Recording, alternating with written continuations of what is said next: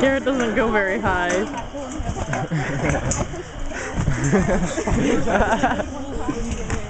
oh, that's cute. It's like a normal hop for anyone else.